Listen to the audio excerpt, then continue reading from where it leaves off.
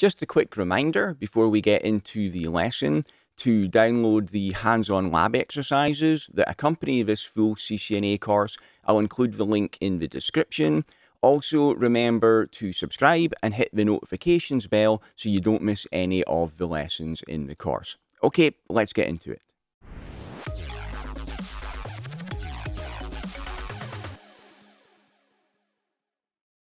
In this lecture, you'll learn about the data serialization formats XML, JSON, and YAML. To give you the definition, data serialization is the process of converting structured data to a standardized format that allows sharing or storage of that data in a form that allows recovery of its original structure. So basically what that means is that it allows transfer of the data between different systems, applications, and programming languages because it's storing the data in a standardized format. And three of the available format types are XML, JSON, and YAML. Obviously, they have to be machine readable for the data to be shared between machines. They're also designed to be human readable as well, though, to make it easier for us to work with them. And they're plain text data encoding formats. The data formats are mostly interchangeable, meaning normally you can use any of them. It just depends what is supported on the particular system you're working on at the time often you'll be able to choose between multiple different data formats.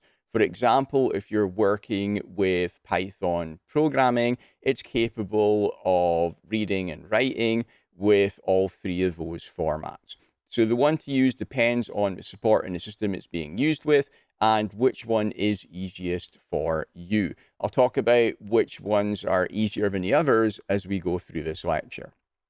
So starting off with JSON.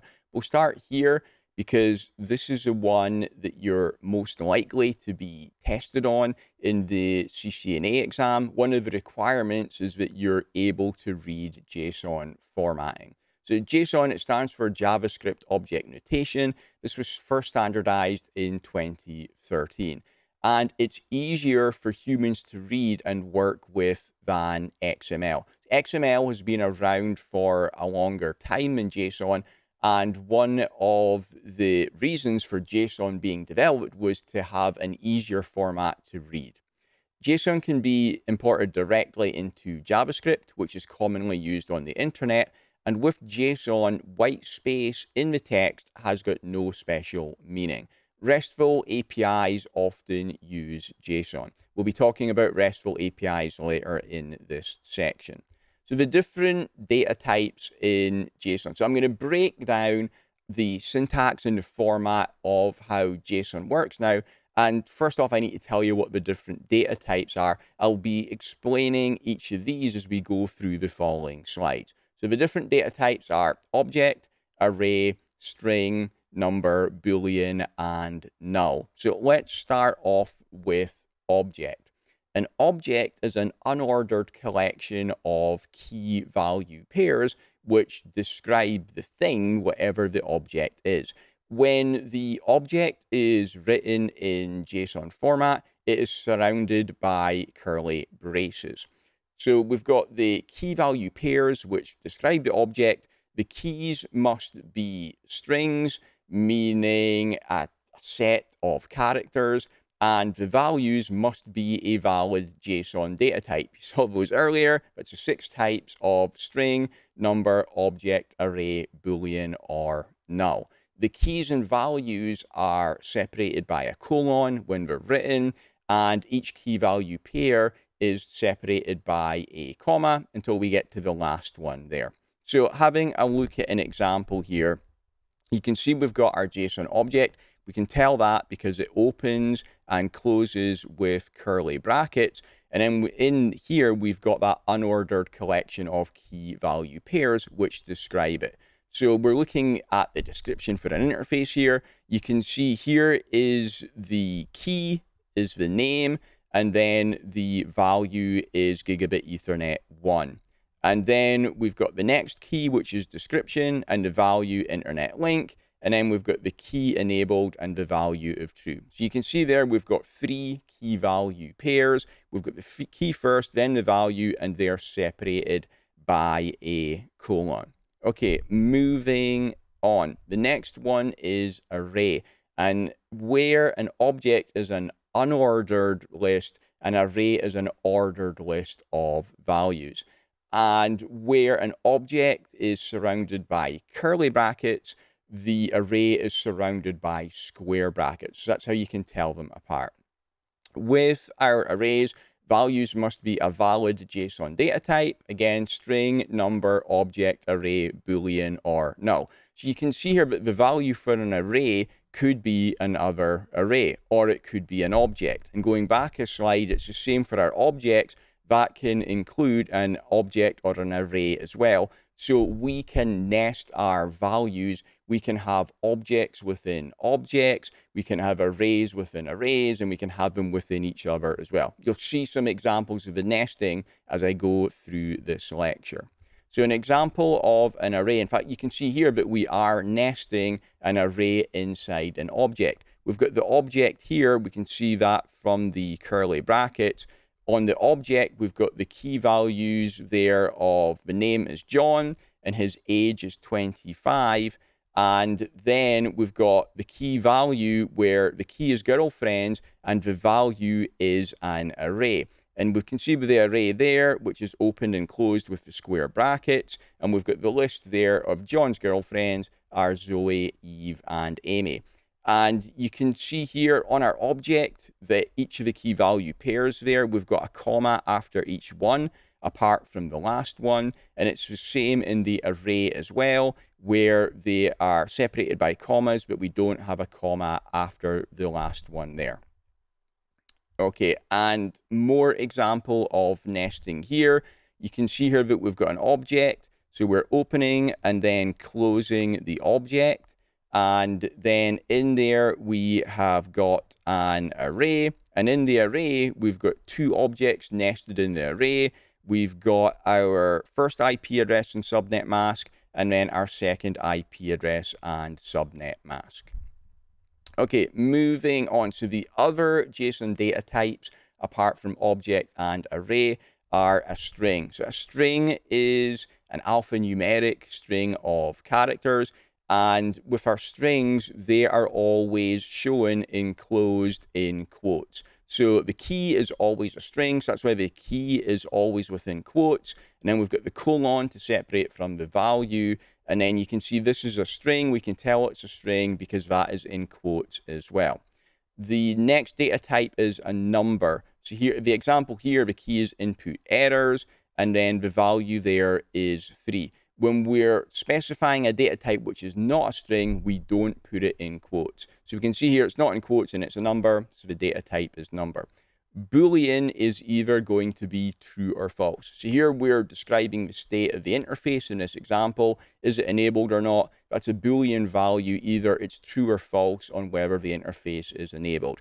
And finally, we can have a null value as well. Null can be written explicitly as null, or you could just have a blank value there. It depends on the particular application you're working with at the time. If for a null value, you should say null or leave it blank. Okay, so that is the format of JSON. I've just got another final example here as well. And this gives you an example of where it would be used for network programmability, where we have got the object opened at the top and then closed down at the bottom here. And then we've got multiple objects and arrays inside there describing our interfaces. So we've got two different interfaces. So that's why we've got an array opened here and then closed down here for our different interfaces. We've got an object inside the array. The first object is interface gigabit ethernet 1, and we've also got interface gigabit ethernet 2 as well. We've also got nested arrays for the IP addresses in there. So you can see here we've got nested arrays because you can have multiple interfaces on the device. You can also have multiple IP addresses on the interfaces as well. And this is how it would be written in JSON format if you wanted to have a description of your two interfaces on your device and the IP addresses on there. Okay, so that was the syntax of the JSON data format. Moving on, the next one is XML. XML was standardized in 1998. It's been around a lot longer than JSON. It's widely used across the internet and similar with HTML. XML was designed to describe and transfer data, while, eh, while HTML is focused on how to display the data with your web pages on the internet. White space has no special meaning in XML, the same as it is in JSON. And again, we've got our lists here of our key value pairs and that they are contained within object tags. So you can see an example of a tag here and we open it with the word inside our arrows here. And then to close it, we repeat the word again, but we put a slash in front of it. So let's have a look at an example of XML. Same kind of information that we were looking at earlier about our interfaces. So earlier on, you saw how similar information here would be written in JSON. This is how we would write it in XML. So you can see here, we've got our Gigabit Ethernet 1 interface.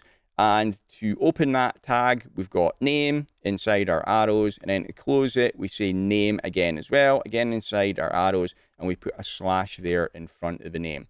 We do the same thing for internet link. We've got opening and closing the description, opening and closing the is true, etc. So that is the XML format. It's been around for a long time. There's very wide support for it, it's not quite as easy to work with and read as JSON is. So developers will typically prefer to use JSON over XML if it is available to use that with whatever they're working on. Okay, the last one is YAML, and this stands for YAML Ain't Markup Language. A bit of geek humor for you there. YAML is often used in Python, Perl, and Ansible.